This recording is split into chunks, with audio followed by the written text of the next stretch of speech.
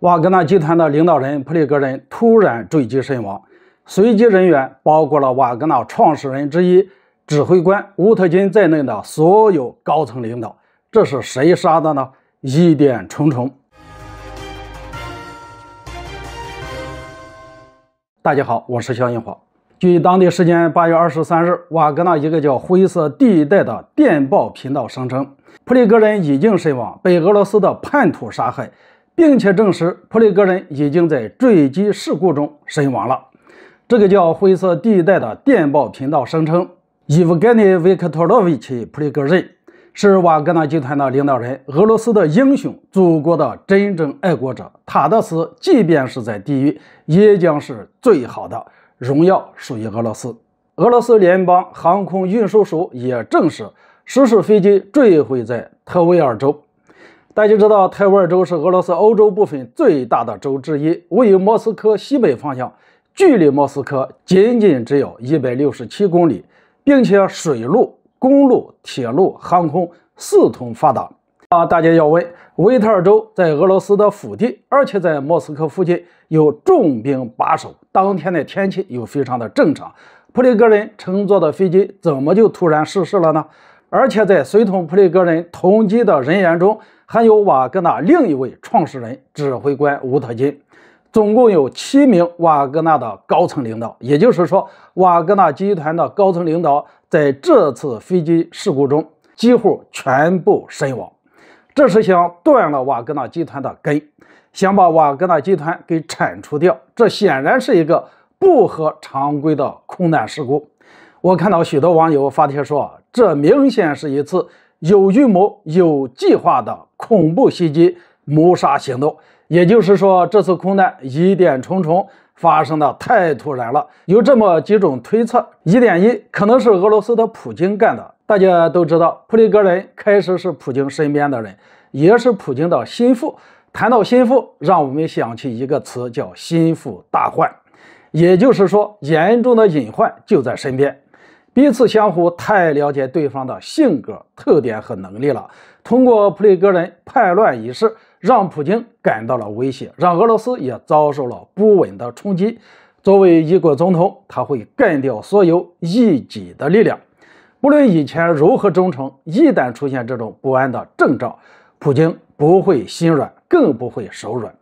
加上瓦格纳集团有做大做强的可能，特别是在俄乌冲突。正在紧张的时候，瓦格纳集团时不时的制造些麻烦，也是普京不愿意看到的。所以干掉普里戈任也不是没有可能。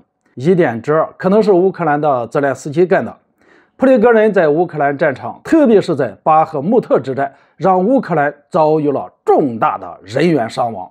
瓦格纳集团声称，乌克兰的新兵与瓦格纳集团作战，他们生存的时间只有四个小时。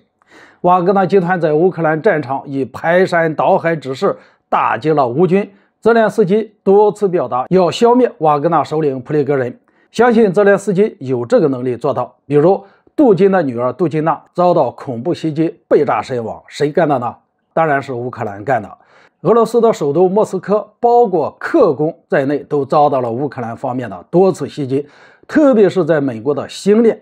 情报机构以及布满世界各地的美国中情局的人，想要知道行事高调张扬、做事不加隐瞒的普里戈任的行踪，不是一件很难的事情。所以说，泽连斯基要想干掉他，也是有条件的。一点三可能是美国的拜登干的。尽管普里戈任只是一个私人武装集团的首领，但是普里戈任做事一惊一乍，让美国人一喜一忧，这让拜登受不了了。本来普里戈任叛乱让美国看到了乌克兰取胜的希望，情不自禁喜出望外。没想到普里戈任突然转变了风向，要在欧洲制造麻烦，这让美国在欧洲的盟友紧张起来，不但在边境增兵，还加强了边境地区的管控，就怕万一有个闪失，偶遇普里戈任那就坏了。所以美国担心瓦格纳集团做大之后。对欧洲，特别是对北约国家，是一个极大的隐患，决心除掉它。这是包括美国在内的所有北约集团的心愿。一点四可能是波兰的杜大干的。大家知道，瓦格纳集团到了白俄罗斯之后，就在波兰和白俄罗斯的边境附近安营扎寨，这让波兰总统杜达立刻感到了不安。况且，白俄罗斯和波兰、波兰和俄罗斯一直都是相互仇恨，当然呢，有历史的恩怨，也有现实的威胁。波兰是北约集团距离白俄罗斯和俄罗斯最近的国家，是邻国，也是北约想灭掉俄罗斯的最前沿的阵地。因此，瓦格纳集团在波兰边境驻扎下来，对他的威胁是不言而喻的。更何况，瓦格纳集团首领普里戈任多次说到，想要到波兰去旅游，想要到华沙去看看风景，这下可吓坏了波兰，所以干掉他也是有可能的。一点五，可能是瓦格纳集团内部的人干的。大家知道，瓦格纳集团不是铁板一块，加入这一组织的私人武装，每个人都是精兵强将。不但有敢打敢拼的勇敢，也有出谋划策的智慧和指挥才能。都想当头，头只有一个，怎么办呢？接下来的事情大家就会猜到的。以上只是猜测，如有雷同，纯属是巧合。到底细节如何，以及瓦格纳集团的后续发展，他们的走向，瓦格纳集团的接班人是谁，就让我们拭目以待。好了，今天就讲到这里，我们下期再见。